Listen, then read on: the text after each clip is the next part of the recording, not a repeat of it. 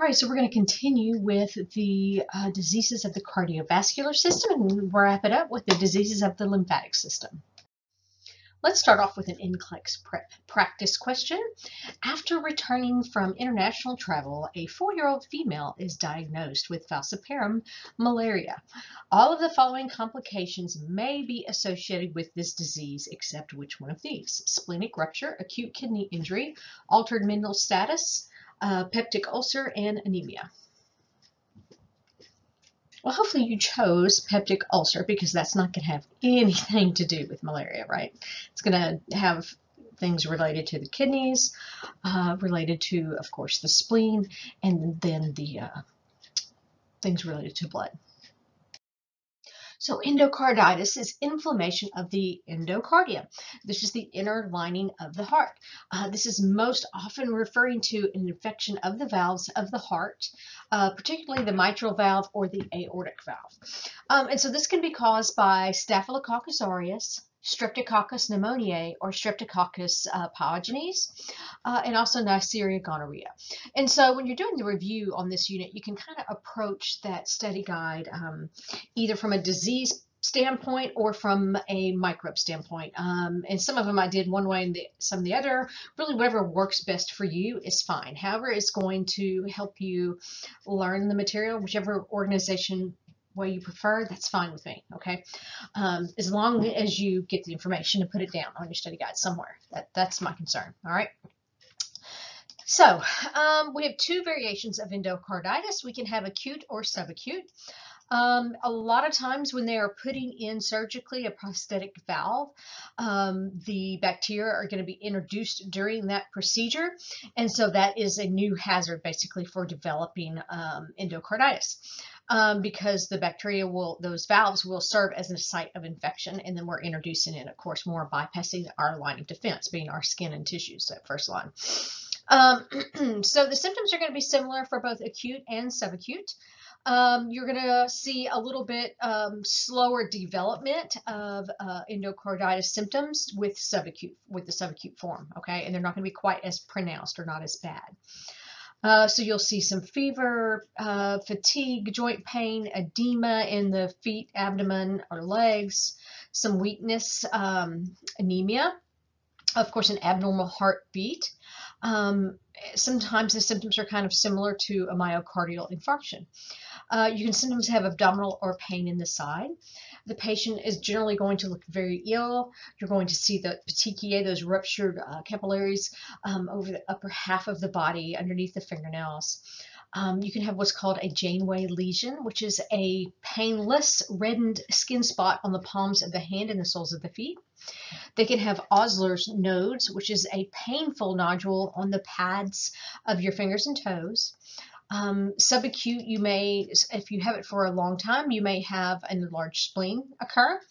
Um, and if they go on for a really lengthy amount of time, it can lead to having clubbed fingers and toes because there's no oxygen getting there.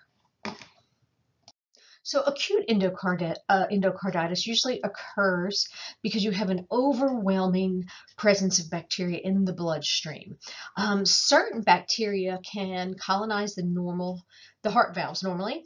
Um, you can have what we call vegetations or an accumulation of bacteria on the valves, and then that will hamper their function. Okay, um, so that can lead directly to uh, death because you're having cardiac malfunction. Um, also, pieces of the that vegetation, pieces of that clumped pieces of the clumped bacteria can break off and create an embolism or block vital organs. Okay, so that's very dangerous.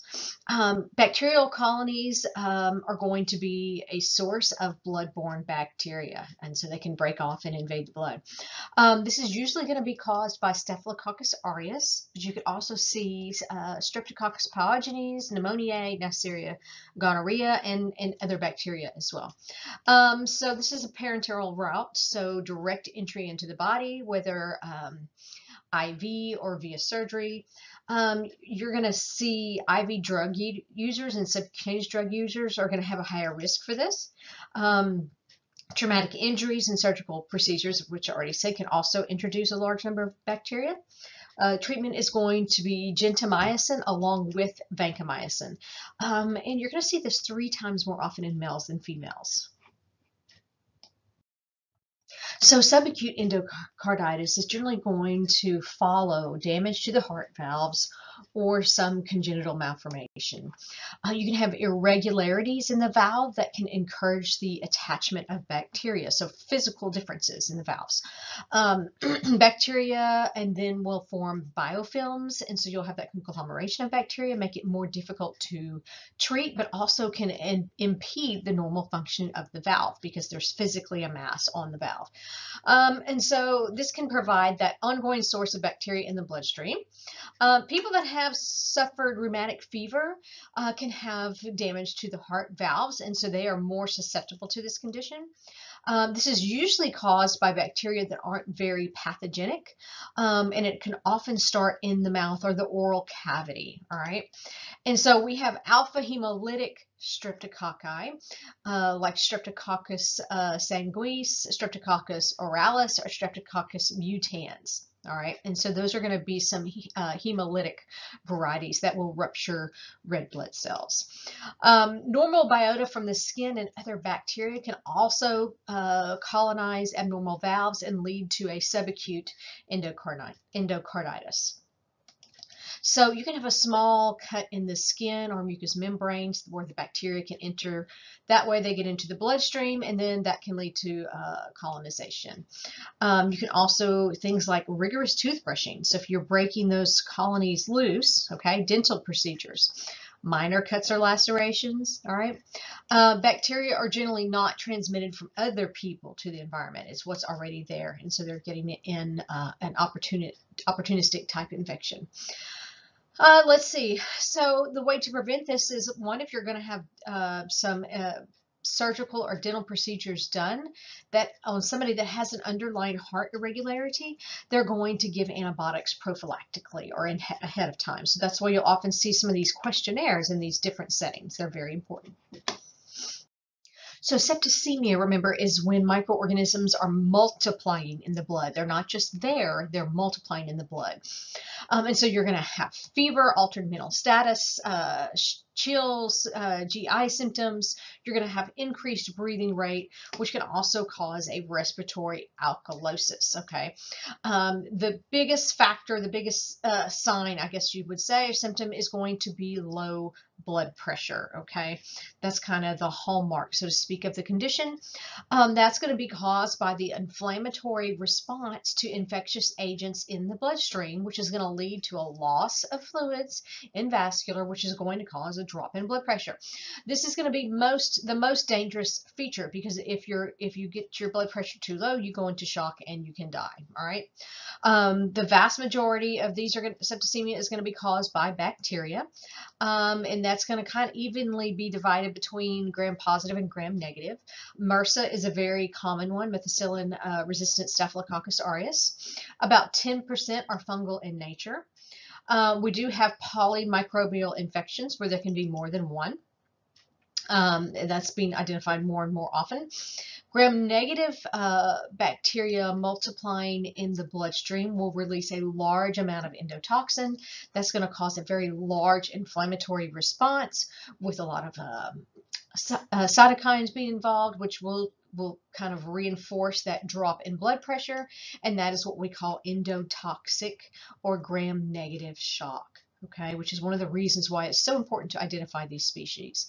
Gram-positive bacteria can cause a similar cascade of events when fragments of their cell wall are released into the blood. Um, so these are often traced back to parenteral um, introduction of the microorganisms by an IV or a surgical procedure. Um, also serious UTIs, uh, renal infections, prostatic, pancreatic, or even gallbladder issues, uh, infections. So parents that, uh, patients, not parents, patients with underlying spleen uh, malfunctions may also be predisposed to having this, all right? Um, you can have meningitis, osteomyelitis, and pneumonia can also all uh, lead into a sepsis state, okay? So we've had about 200,000 cases per year in the U.S. Um, and those result in about 100,000 deaths. So that's a high mortality rate. Okay. So with the bacteria being in the bloodstream, you're going to do a blood culture usually to diagnose this.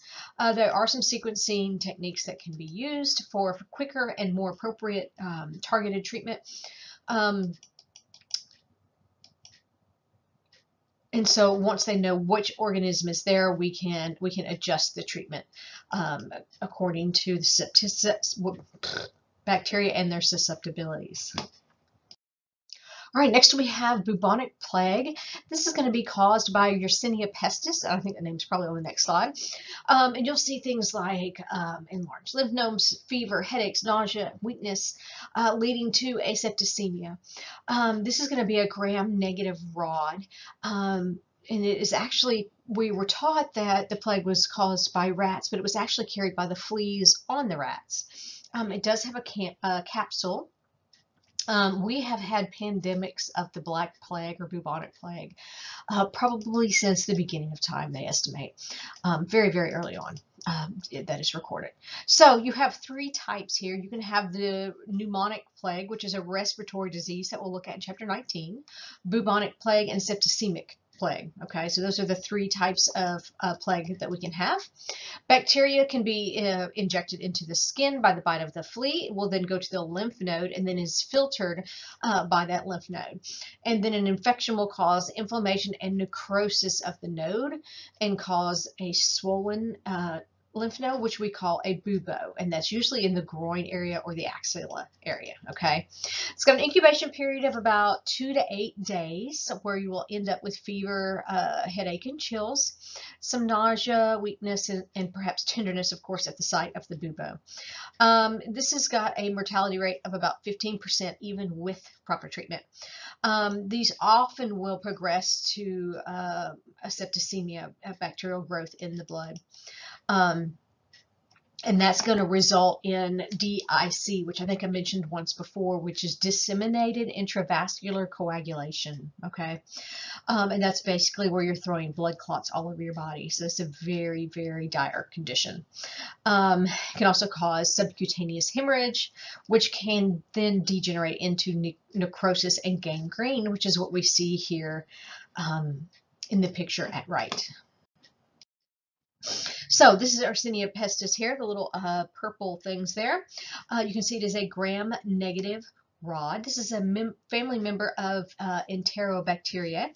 Um, and it's going to have a very unusual uh, staining that makes it look kind of like a safety pin. Um, and so there is uh, you can see it here in this picture. It looks a little bit like a safety pin. Um, so the number of bacteria that is needed to start plague is very, very small. You only need a maximum of like three. 3 to 50 of these cells can make you sick. That's very, very low.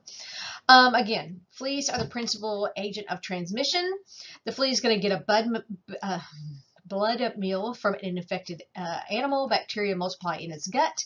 Then it's going to um, not be able to feed. It's going to jump because it's going to be blocked. It's going to jump from animal to animal to get nourishment.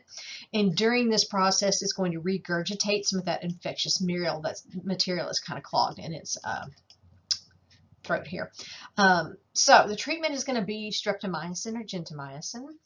Um, plague has been found all over the world. Um, in the developing world, we have cut this way back, uh, but it is actually increasing in Africa and some other areas of the world.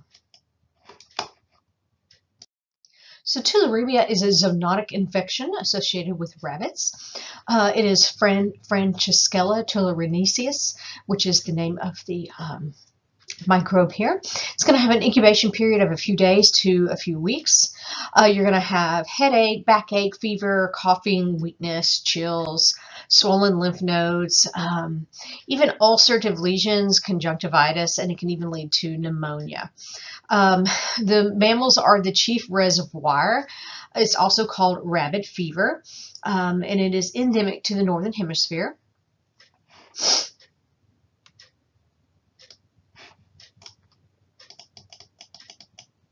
Let's see. So um, this is often picked up when people are skinning diseased rabbits. Um, the death rate of the most serious form is going to be up to 30%, which is one out of three. It's pretty high. Um, but if you treat with gentamicin or streptomycin, it's going to reduce the mortality rate to almost zero. So that's that's very big. Okay, this is going to be a gram-negative bacterium. It is a facultative intracellular uh, bacteria. Okay, uh, let's see, we said this is also sometimes called rabbit fever. This is listed as a category A bioterrorism agent along with anthrax, plague, and others. So it's on, on a list of things to be very carefully watched for. Rabbits and, and other rodents are going to be the chief reservoirs. Um, skunk, beaver, fox, possum, domestic animals also. Um, with the decline of rabbit hunting, we have seen an increase in the number of tick bites being more common because there being um, an arthropod vector there, followed by biting flies, mites, and mosquitoes after that. All right, so let's see. The infection dose here, infective dose here is 10 to 50 organisms, so still not very many. All right. This particular uh, bacterium is considered one of the most infectious of all bacteria. Okay, we have seen tularemia appear in people who have accidentally run over dead rabbits while mowing the lawn. That's crazy. Okay. So they are assuming that it was aerosolized bacteria and they inhaled them. Okay. Um, so let's see. Um, you can, can have relapses with this. Um, you're going to, of course, want to put on uh, antibiotics, but you cannot stop them early. All right. Usually you're going to use a doxycycline or ciprofloxacin. Um, to help prevent the disease. And then if you are dealing with contaminated uh, mammal, you want to wear gloves, mask, and eyewear as well. All right, so next we have Borrelia burgdorferi, which is the cause of Lyme's disease. All right, um, this is going to uh, be a gram-negative bacterium. Um, these are spirochetes, you can see here in the picture. Um, they're going to have, uh, you know, some spaced out coils there. Um, the bacterium is a master of evading the immune system, okay? It's going to display antigenic shift. It's going to change its antigens um, while it's in the tick. It's going to kind of mutate a little bit. And then again, after it's been transmitted to the human host, it can mutate even more. Uh, it does uh, initiate a strong uh, cellular and humoral immune response. Um, but it's mainly that response, even though it is, is a good, healthy response, it is very ineffective because of the antigenic shift, because the bacterium can swap its antigens, and so it's not going to recognize it. Um, and that may contribute to the pathogenicity or pathology of the infection.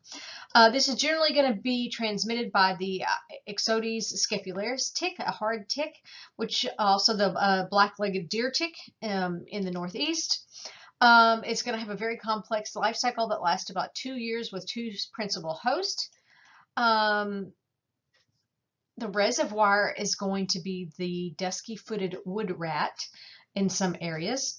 Um, we have clusters of Lyme's disease hotspots, particularly up in the northeast in the U.S.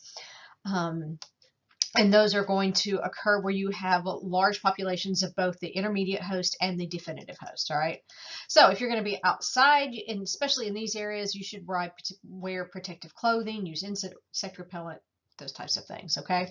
Check for ticks regularly, um, remove ticks without uh, crushing them using, you want to use forceps and gloves so that you don't leave the head in there, okay? And so that you don't get an infection, all right?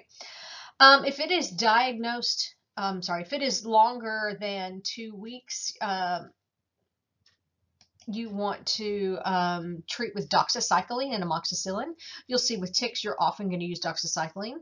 Um, also use penicillin later on in, in later disease processes. So in this picture down here at the bottom, you see a case of disseminated Lyme's where you see several rashes, not just one at the site of, a, of the tick bite. And that's a common misconception. Um, early symptoms, you're going to see fever, headache, stiff neck, dizziness. Uh, and then if you do not treat it and you do not catch it, it is going to move on to the second stage. Um, and it can even uh, go on to a third stage. The second stage, you're going to have cardiac and neurologic symptoms. Uh, even a facial palsy.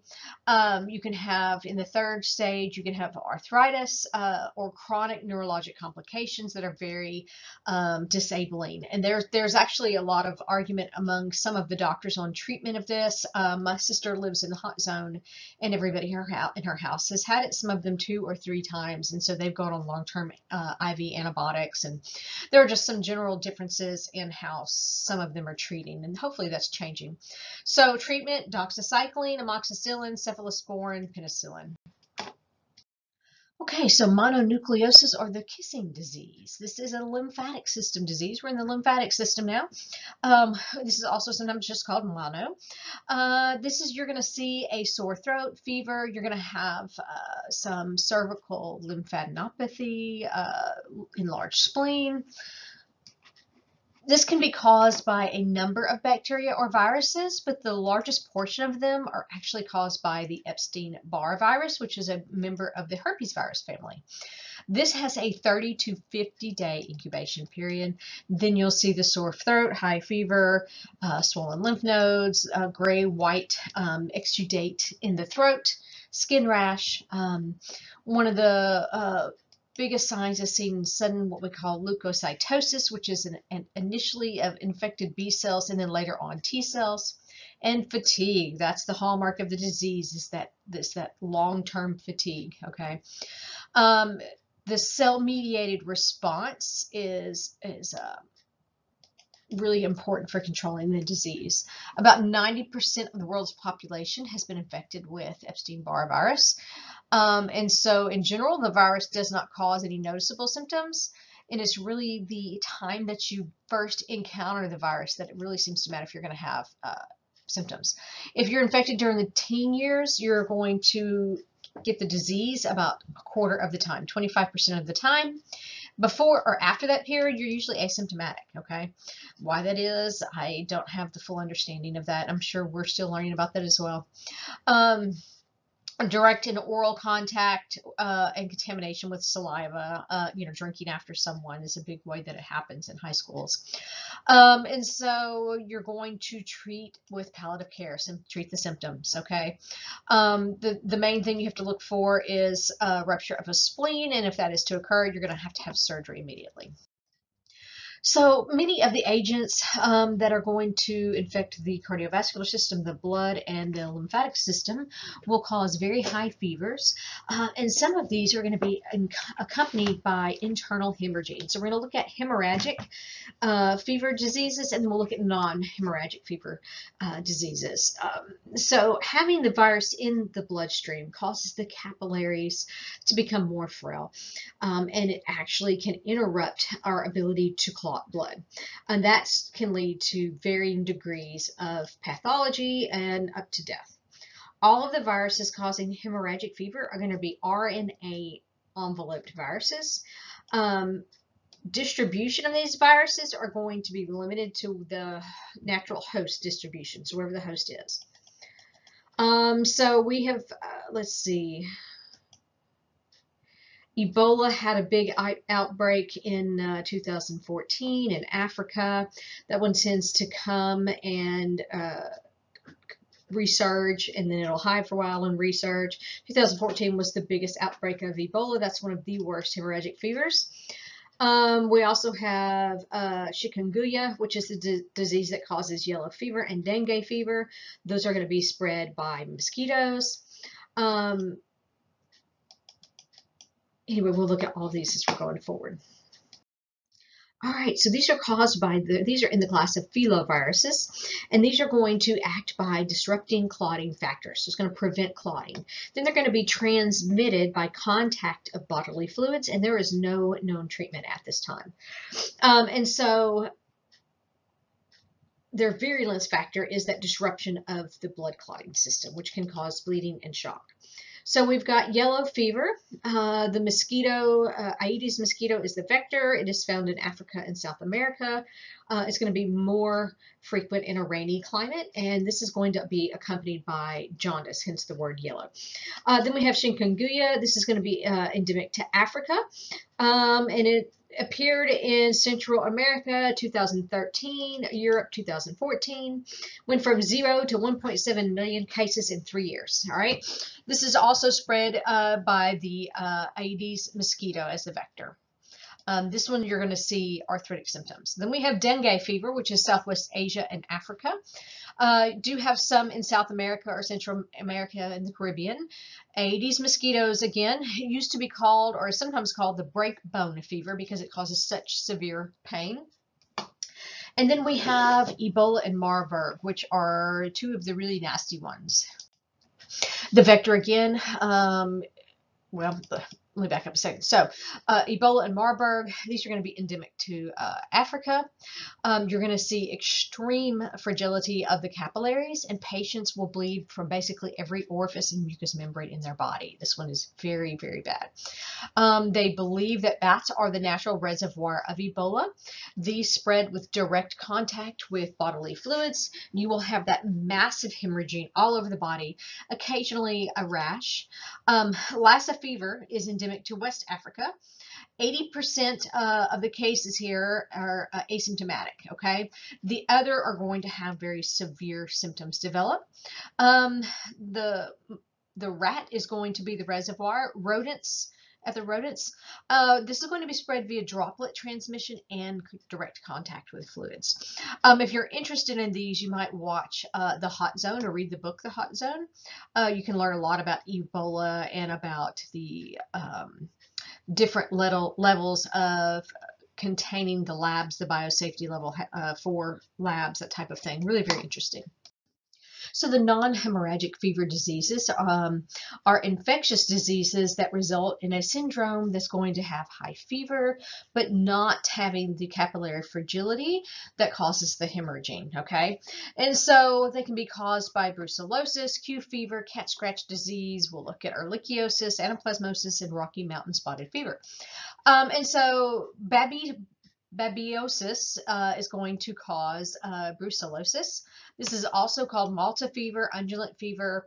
Um, this can cause a large outbreak of, of placental infections and uh, loss of livestock. Okay, um, this is also listed as a possible uh, bioterrorism agent. Um, this is going to be gram negative. These can actually survive in the phagocytic cells, and then those will carry the bacteria on through the bloodstream. You're going to see some lesions in the liver, the spleen, bone marrow, or kidney.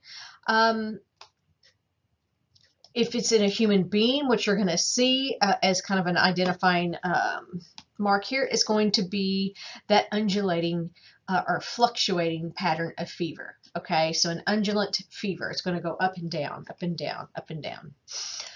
All right, so uh, Brucella is a tiny aerobic gram-negative coccobacilli, and we have several uh, species. We have uh, melitensis, uh, Brucella abortus, Brucella suis, uh, so suis pig abortus means abortion, so a spontaneous abortion, which means loss of the uh, animal or child. Um, usually you're going to have infection of the placenta and the uh, fetus, okay?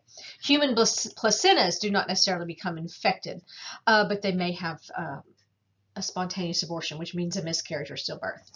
All right, so this is going to enter through the skin or mucous membranes of the digestive tract, conjunctiva, or the respiratory tract. And there, those phagocytic cells are going to take it in, and they are able to avoid uh, our defenses from the phagocytes. They cannot be phagocytized, so they'll be transported through the bloodstream right to where they need to go, unfortunately, okay, and onto the other organs. Um, so the up and down fever, the nature of that fever is related to the lipopolysaccharide um, in the uh, bacterium. This is going to be spread by direct con contact, parenteral, so needle stick, uh, or even airborne. Treatment is going to be doxycycline, gentamicin, or streptomycin. Next, they're going to have Q fe uh, fever, which stands for query, and that's because they were not able to identify the cause of it. Um, and so the signs and symptoms here are going to be abrupt onset of fever, um, headache, chills, muscle aches. Uh, occasionally, you'll have a rash. Um, this is sometimes complicated by pneumonia in about one third of cases, or hepatitis and endocarditis, one quarter of these will become chronic instead of acute. Uh, and so you can have some damage to the vascular system. And so you can have some endocarditis-like type symptoms. Um, below that, we have Coxiella burnetii. This is a very small pleomorphic. So that means variable shape. It can change shape or come in different shapes. Uh, gram-negative bacteria. Um, this is going to be harbored by arthropods, okay, um, and vertebrates, um, particularly ticks, okay. So those are really essential for the transmission between uh, wild and domestic animals. Um, now, ticks do not transmit this disease to humans. Humans only get the infection because of contam uh, environmental contamination, airborne um, products like placentas of domestic animals um, that have a large number of bacteria. Okay, so people at high risk for this are going to be farm workers, uh, veterinarians, people cutting meat, those types of things. Um, even milk, people doing dealing with uh, raw milk. Um, so airborne direct contact or foodborne transmission. This does have an endospore-like structure associated with it, and treatment is going to be with doxycycline. Remember, ticks think doxycycline. Next, we have Bartonella henselae, which is also known as cat scratch disease. Uh, this is a gram-negative bacteria. It does have an endotoxin. It is on the small side. You can see uh, the swollen lymph nodes here in the uh, axilla area. It is fastidious, but it is not an oblig obligate intracellular parasite, so we can grow this on blood agar. Uh, this is going to be transmitted primarily uh, from cats and fleas, okay? Um, fleas to the cats, I should say. This is actually going to be present in 40% of cats, particularly kittens. So there are 25,000 cases per year here in the U.S. 80% of those are going to be children 2 to 14 years of age. Um, you're going to see signs or symptoms of this one to two weeks after being clawed or bitten by a cat. And you'll have some small papules at the site of uh, infection there or inoculation. Um, most infections are going to stay localized and resolve on their own within a few weeks. Um, you can treat with azithromycin, erythromycin, or rifampin, um, but you can also control, uh, prevent this by controlling fleas um, and using and cleaning the wound of a cat bite with antiseptics, cleaning them very well.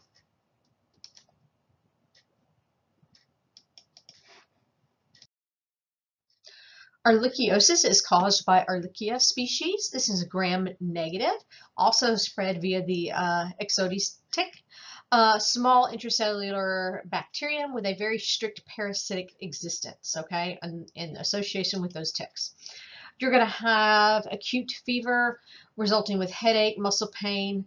Um, patients will recover with no lasting effects, but about 5% uh, of this vulnerable population, the older or chronically ill patients can actually die from this. Um, you can diagnose this with a PCR test and uh, antibody test. It can be hard to differentiate this between uh, uh Lyme's disease and Borrelia, um, and sometimes those are co-infections. So treatment, what do you treat with ticks with? Doxycycline, right? That will clear up most infections within about a week. Next, we have anaplasma. This is going to cause anaplasmosis. This is an intracellular gram-negative bacteria. Uh, it has similar characteristics of Ehrlichia, and it causes almost the same clinical manifestations. But these are going to be found in different geographic locations, and so they're carried by two different types of ticks. And so you're generally going to see one or the other, okay? Um, and you're going to treat this with, you guessed it, doxycycline. Next, we're going to have babesiosis, which is a protozoan now that is going to affect red blood cells. Uh, and I forgot to point that out in the other uh, picture. The, the little dots are the bacteria in the red blood cells. Well, this is, this is going to be a protozoa in the red blood cells. It has similar symptoms as Ehrlichia and Anaplasma. It is also going to be carried by ticks. This is going to be found in the northeastern United States and Great Great Lakes region. You're going to diagnose this by looking at a blood, blood smear, and so you should be able to see the protozoa inside the red blood cells.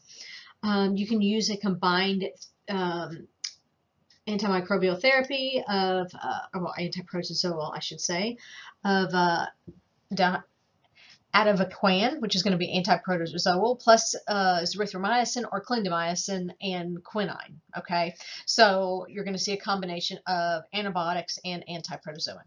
Okay. Uh, please take note, this is mislabeled in the chart. It says bacteria and this is protozoa. Rocky Mountain spotted fever. This is one that we do see in our area. We do see some Lyme's disease, but not much. Uh, fever, headache, and rash.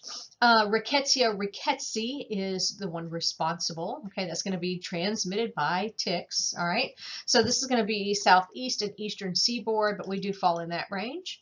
Um, does happen in Canada, South America, Central America. Uh, these infections are going to show up in the spring and summer when ticks are going to be active. They're the vector. Um, and that's going to change with the weather, okay? Rickettsia rickettsii, transmitted by the wood tick, lone star tick, American dog tick. Um, two to four days after it incubates, it has an incubation period, two to four days, you're going to see those fever and chills, headache, muscle pain, and then a very distinctive spotted rash, okay, that's going to occur. Uh, usually it's going to occur on the wrist first, then the forearms and ankles, and then spread. Early lesions look a little bit like measles, but then they can change shape to look like other rashes, okay? If it's untreated and severe, you can have enlarged lesions that can become necrotic. Um, and then you can also be predisposed to gangrene in your toes and finger, fingertips if you ignore it. Um, and if it's really bad, you can have uh, issues with your cardiovascular system, hypotension, thrombosis, and hemorrhaging. Uh, you could also see some delirium, convulsions, um, coma um, when it has taken over the nervous the central nervous system, and about 20% of untreated cases can actually die, uh, and that's lower to 5 to 10% with treated cases. So we have Chagas disease, sometimes called the uh, American trypanosomiasis. Um, this is going to have a very long incubation period and it is very hard to get rid of. And this is going to be caused by Trypanosoma cruzi. This is a flagellated protozoan that you can see here at left. Um, Trypanosoma uh, brucei uh, is going to be what causes uh, sleeping sickness in the African continent. So it is related, but it's different, okay? Um, and so these are going to actually multiply in the blood and blood cells, and then those are going to rupture, and the trypan trypanosomes are going to be released into the bloodstream. Um, during the acute phase, you're going to see a mild to severe fever, nausea, and fatigue. Um, and you're going to get what's called a chagoma appear at the site of the bite. Um, if it's close to the eyes, you can actually get swelling of the eyelids and things. Um, during the chronic phase, uh, you're usually going to be asymptomatic. Um, and those trypanosomes are going to actually travel throughout the body and can even interrupt the function of the heart, the brain, and the intestinal tract. Next, we have Chagas disease, and this is going to be uh, spread by the kissing bug, uh, which is tri. Um, and so these can be transmitted vertically. It will cross the placenta. Um, it can also be transmitted via blood transfusion.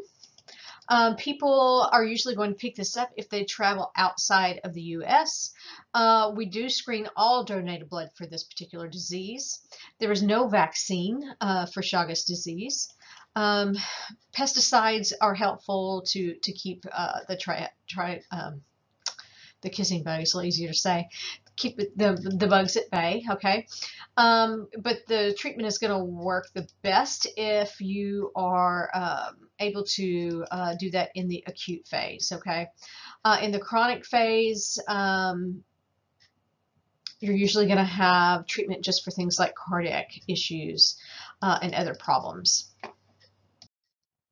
All right, so next we're going to have anthrax. This is an, uh, this is our last one, I believe. It is a zoonotic disease. It's an infection um, that can exhibit its primary symptoms in different areas of the body. And so we have three forms, basically. We have uh, cutaneous, pulmonary, and ingested forms, okay? Um, and so uh, the skin would be cutaneous, and the lungs is going to be pulmonary anthrax. So cutaneous anthrax, pulmonary anthrax, and then in the GI tract, uh, which can be by eating ingested meat. Okay, and this is going to uh, also sometimes cause anthrax meningitis, so it can infect the central nervous system. The cutaneous and the pulmonary forms of the disease are the ones that are the most common. Um, usually, the anthrax bacterium, uh, Bacillus anthracis, will get access to the bloodstream. Um, and it can cause an overwhelming septicemia, which can result in death. This is going to be transmitted via contact, inhalation, or ingestion. Um,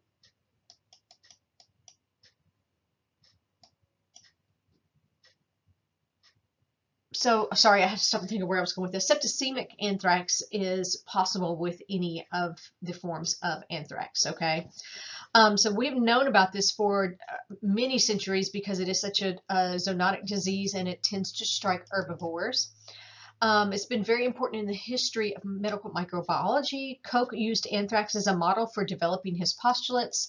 Pasteur used this to prove the usefulness of vaccination. Um, let's see I think that is everything on this slide. All right, so here you can see anthrax at right. Bacillus anthracis is gram-positive. It does have endospores. You can see those there. It is the largest of all bacterial pathogens. It's kind of uh, block or rectangle shaped. Um, pretty wide. It's, it's got that central endospore that helps it um, develop in all growth conditions except for living in the body of the host. It uh, is usually found in the soil, okay? Um, and so these are going to be, these endospores are going to be dispersed in dust, water, onto the bodies of plants and an, an, an, animals. so pulmonary anthrax and pulmonary edema and hemorrhagic, hemorrhagic lung symptoms sometimes are what can actually cause you to die from this. Um, and it's difficult to separate the effects of the septicemia from the effects of the pulmonary infection, okay? Um, at the site of infection, um, you're going to see some symptoms, um, but then you can have the septicemic version. You can get headache, fever, and malaise. Bleeding in the intestines or mucous membranes um, can occur during the late stages of these. So we did have an attack of anthrax through the mail in 20 or uh, 2001. Um, this was aimed at senators, and I think I talked about this a little bit. 22 people obtained uh, acquired anthrax. Five people died. Um, I think I already said this, but we even had some people here in New Boston that were mailing this. It was very scary. Um, and so this is going to have a polypeptide or several protein capsule. Um, it's going to have the tripartite toxin, and that is a protein composed of three separate exotoxins. Okay, so that's going to cause massive inflammation and uh, shock, basically. Um, some people have a gene that actually codes for a surface protein that makes it harder for the bacterium's toxin to enter the cell. So that's that's a good way to uh, come up with maybe a treatment strategy. Um, it also has hemolysins um, and other enzymes that damage host membranes. It is a facultative parasite, um, and it, it undergoes part of its life cycle and vegetation growth and sporulation while it is in the soil. All right, and then animals become infected with it when they are grazing on grass that's contaminated with those endospores and then that pathogen will be returned to the soil um, when that particular atom goes to the the bathroom excrement or if they die by their carcass okay? And then it will sporulate um, and then that will be a long-term reservoir of infection okay? So uh, we've got a lot of natural anthrax anthrax cases in livestock from Africa Asia and the Middle East as well. Uh, and so there's going to be a really high level of suspicion to diagnose anthrax. Um, this is a very rare disease and it can mimic many other diseases that are not so rare. So you want to look for those first. Um, if you think this is what you're dealing with, what they're going to do is culture the bacterium on blood agar, perform a gram stain. Um, then, of course, if it is confirmed, uh, suspected, you want to send it to the CDC to be confirmed. Uh, there they can do antibody testing, you can do phage testing. Uh, there is a purified toxoid form that humans can be vaccinated with if they are in uh, contact with livestock or products from livestock, um, members of the military. Uh, there is a vaccine. You got to get five shots over a year uh, and an annual booster. Okay, so it's a more cumbersome uh, vaccination. So people being uh, suspected of being exposed to the bacterium are going to be given prophylactic antibiotics, which seems to be pretty effective at actually preventing the disease. Uh, and these are going to include doxycycline, uh, ciprofloxacin, um, although some antibiotic treatment can sometimes worsen symptoms. And if you are treating a human case, uh, you need to be consulting with the CDC.